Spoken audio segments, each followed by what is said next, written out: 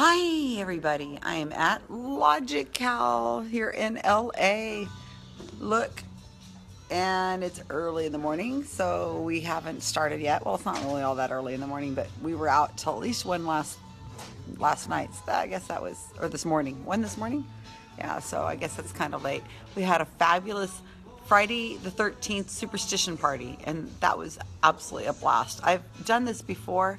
I think one of the TAMs. It's run by Margaret Downey, and um, you know, probably a good 80 people or so showed up.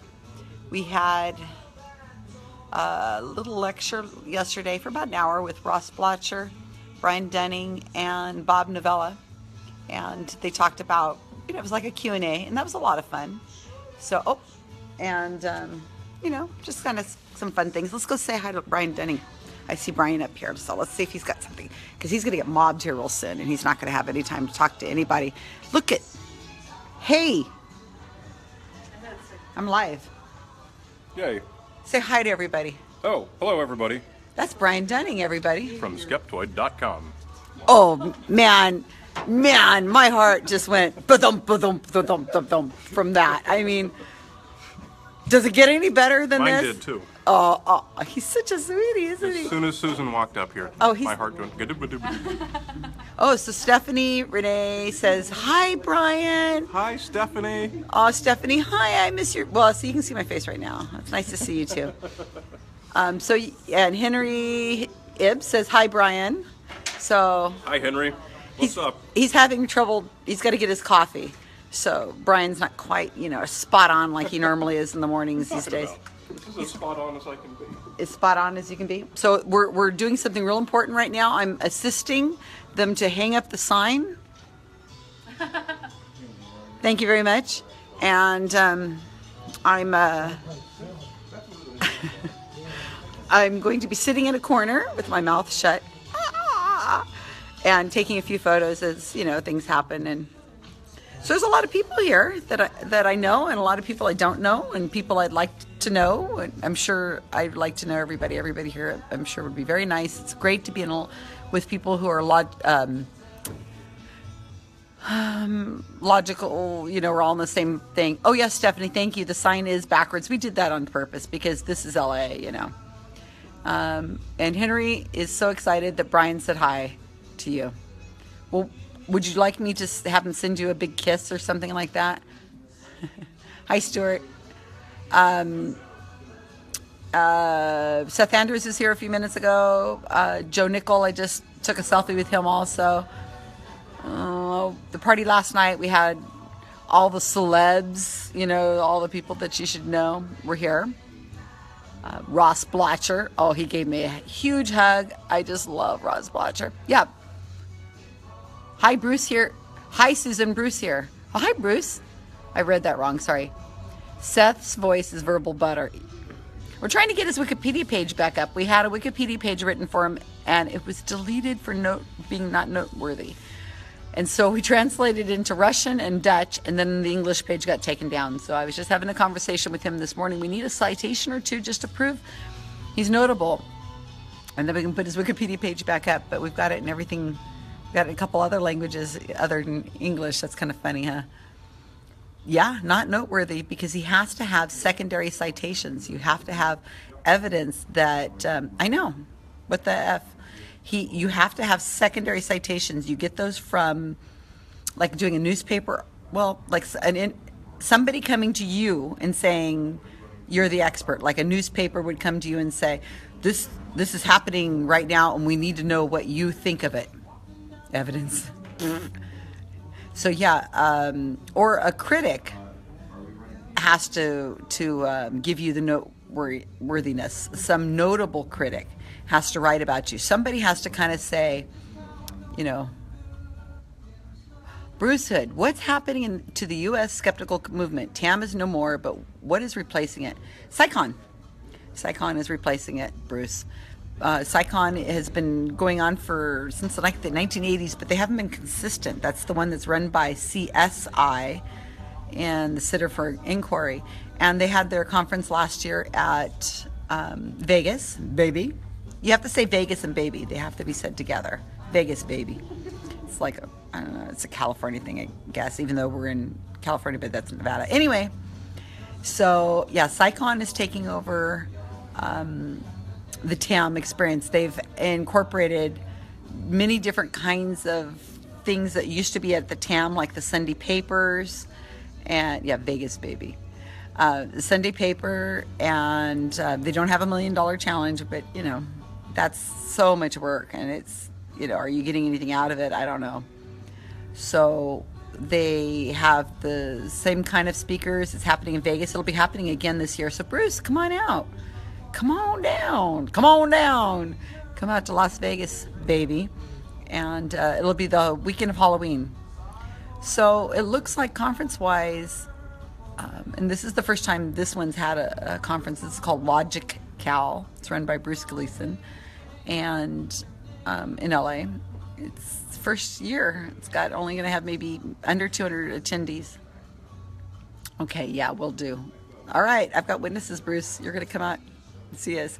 I really want to get to see QED um, again. I hope to speak there. I just got to have somebody ask me. I'll be speaking in at the European Skeptic Conference in Poland this September. I'm one of the speakers, believe it or not. So I should be going to the Czech Republic and to um, uh, Poland to speak to them because GSOW really badly needs non-English editors. Well, actually, we need all editors of all kinds, but we, you know, non-English would be great. If I can get out there, it sounds amazing. Yes, Vince. Vincent, are you talking about?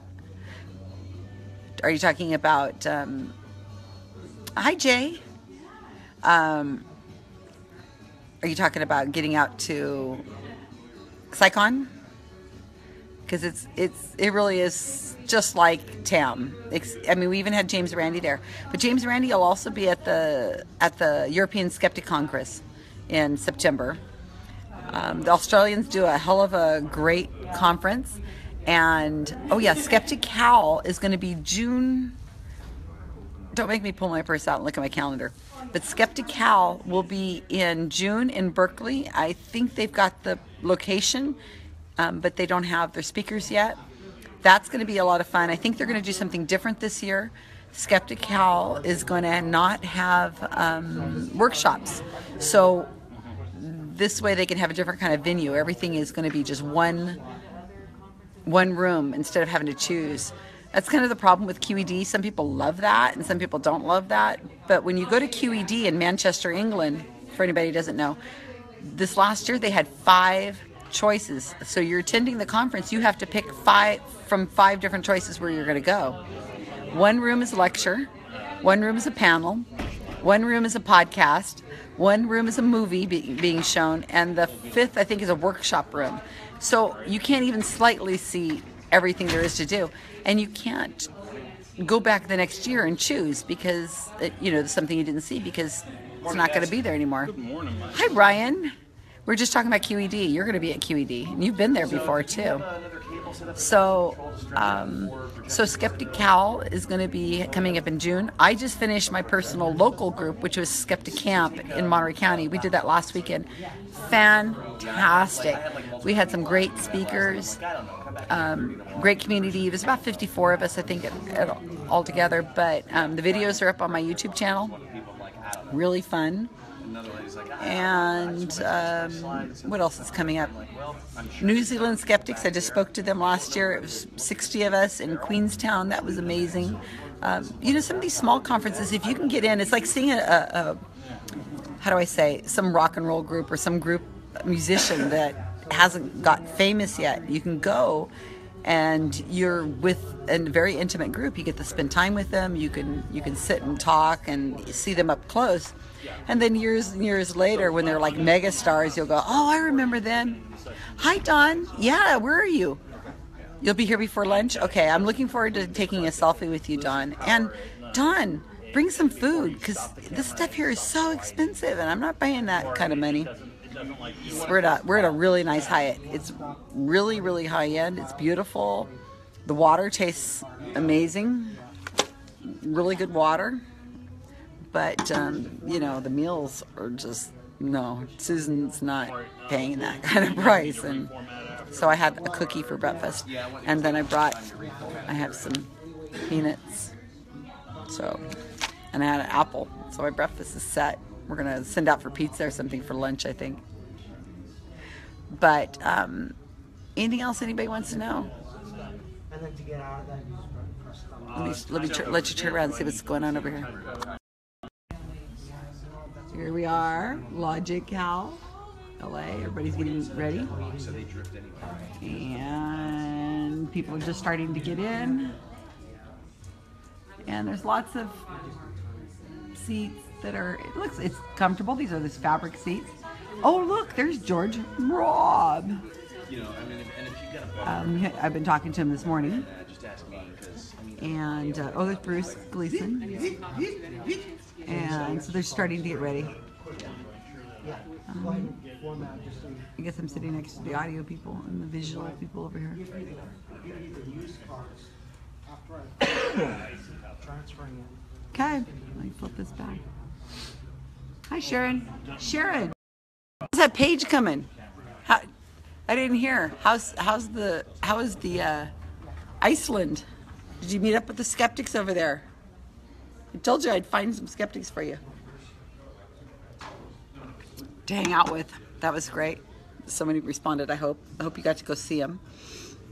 Um, so you know, people, we're a community. We really have to go and see these kinds of things because you could sit at home and watch these videos. You know, whatever. The important thing is to get out, shake hands with people, sit down and talk to them. Um, you know, share, break bread, have a beer, something like that, because you really just need to be. Um, you know, the community is. You have to be there. So even if it's a skeptic camp, a skeptics in the pub, a comp, one of the larger conferences, you really should come out and see. All right. Iceland was awesome, but I did not meet up with anyone. They were they were.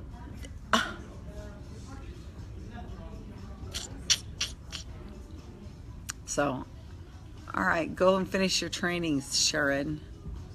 You said you'd do it when you finished, got back from Iceland. All right, bye everybody.